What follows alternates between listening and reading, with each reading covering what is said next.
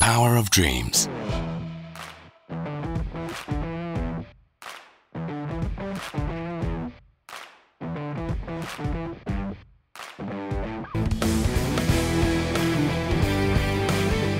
Saya nak simpulkan track ni, track ni sebenarnya mungkin yang the best lah. Kalau dekat tepi pantai memang yang ni paling cantik. Kondisi uh, track layout pun bagi saya memang hampir dikatakan mostly banyak speed pun eh. Kena baca, kena cepat lah, kena cepat. Uh, cepat adapt dengan track. Ya, yeah.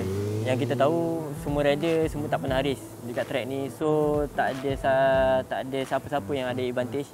Ya, yeah, memang saya harus menang dekat race ni.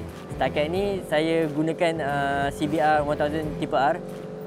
Uh, hampir 2 tahun saya pakai. So saya dah hampir hampir sebati dengan uh, motor cuba adapt uh, macam mana saya nak nak control dengan power ni dan sekarang saya dah jumpa setup saya boleh uh, start race saya boleh control average saya boleh race tu boleh berada di podium pun dah sangat baik. bila kami datang pada race weekend ni, ya semua orang tahu track ni adalah track baru. Uh, hanya sesetengah rider saja Indonesia itu pun rider Indonesia saja yang pernah bawa track ni.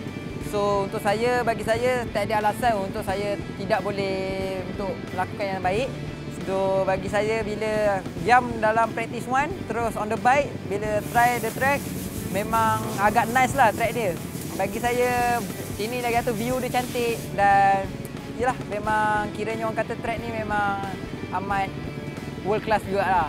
Ya, yeah, of course uh, model uh, motor-motor baru kita orang pakai ni iaitu Honda CBR 600 RR. Dia diproducekan pada tahun 2021. So bagi saya untuk first saya jam atas motor ni memang sangat berbeza dengan motor lama. Mungkin body lebih kurang hampir sama tapi dari segi mungkin uh, Honda keluarkan dari segi untuk improvekan elektronik dan sebagainya. Ya, memang sangat terbaik saya sangat optimis juga ah dengan jentera ni. Okey, untuk posisi saya untuk target minggu ni saya nak akan uh, kemenangan untuk dapatkan kemenangan lah untuk sebab tahun ni saya tak ada kemenangan uh, di kelas uh, season kelas kerana Azroy dan juga Khairul selalu dah, dah pernah dapat. So hanya saya seorang je tak pernah dapat. So saya akan target untuk menang.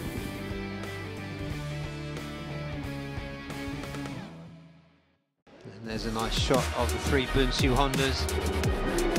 We are underway. Okey, race satu semua berjalan dengan lancar. So, dari qualifying lagi saya agak jumpa setting yang perfect.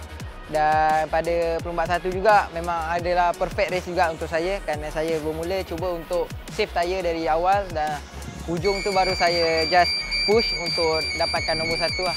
Uh, kemenangan yang semalam tu memang agak puas hati lah sebab itu adalah first uh, first win saya pada tahun 2023. So memang saya dah lama idamkan dari start awal season lagi untuk saya nak finish nombor satu dan akhirnya berjaya. And Alhamdulillah semuanya memang tim pun kerja yang amat keras untuk pada minggu ni lah saya set up. Okey, race kedua saya bermula agak baik. So dan lika race dua ni agak teruk kotor kerana tumpahan minyak memang banyak di sektor last dan juga uh, first sector. So saya tak dapat nak bawa lebih 100% untuk macam semalam. Tapi saya just konsistenkan untuk position saya. So yang macam Minami Moto, uh, Adi Nanta dan juga uh, Nakarin agak laju juga pada kondisi macam ni. So saya memang cakap tak ada confident lah. So saya just full position saya until last lap saya memang cuba akan nak try si Adi Nanta untuk position podium tapi macam mana pun saya punya tayar meletup dan tak ada rezeki untuk race 2 ni. Okey untuk Zuhai dan juga last round beriram uh, memang saya akan 100% all out push kerana point saya pun dengan position nombor 2 pun tak jauh. Cuma saya just uh, konsisten di atas podium dan juga mencari kemenangan lagi untuk race akan datang.